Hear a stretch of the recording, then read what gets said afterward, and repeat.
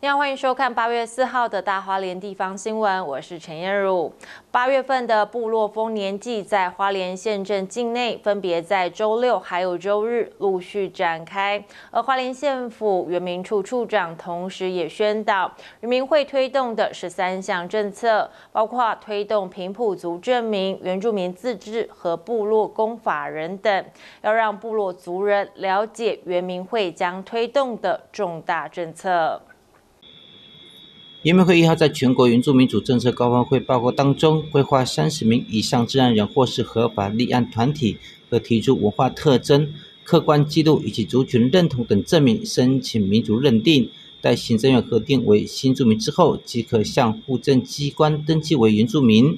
花莲县政府原住民行政处处长德古萨运也在花莲县境内各部落办理丰年祭的时候，来宣导原民会推动了十三项重大政策，包含三项最重要的。推动平埔族证明、原住民自治和部落公法人。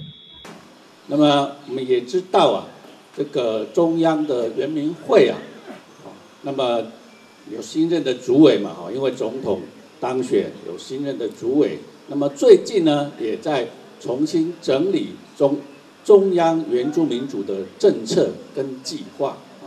那么有总共呢有十三项的工作，非常非常的重要。可能攸关未来四年到八年整个原住民族的发展，啊，就针对前三项可能比较重要的部分，也请大家啊也帮忙注意一下。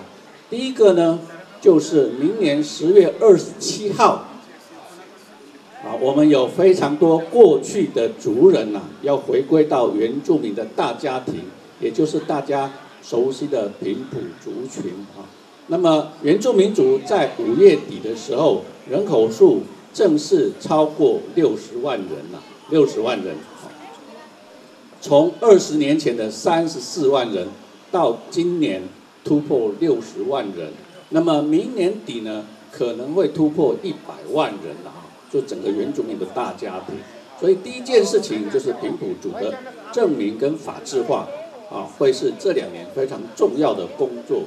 第二个呢，就是我们已经推动了二十五年的原住民族自治法。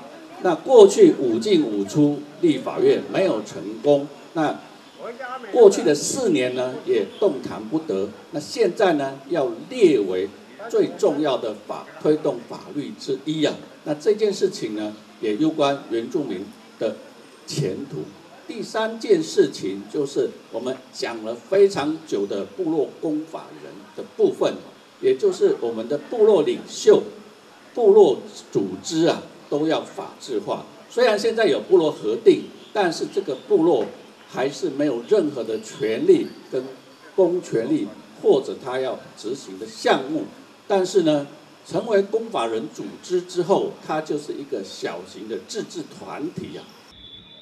赖清德总统一号也提出原住民主政策新蓝图的五大方向，包括复振原住民族语言、增进原住民族健康、保存原住民族文化、培养原住民人才，以及促进原乡部落有序发展。希望每组语言都能够恢复，每位原住民都能够使用自己的母语，并且认为讲母语是一件很光荣的事。原住民的平均余命相较全国国民的平均余命仍有落差，也希望大家能够持续努力。台湾是一个多元文化的国家，保存原住民族文化，台湾文化才能够完整。记者焦宏毅新想象报道。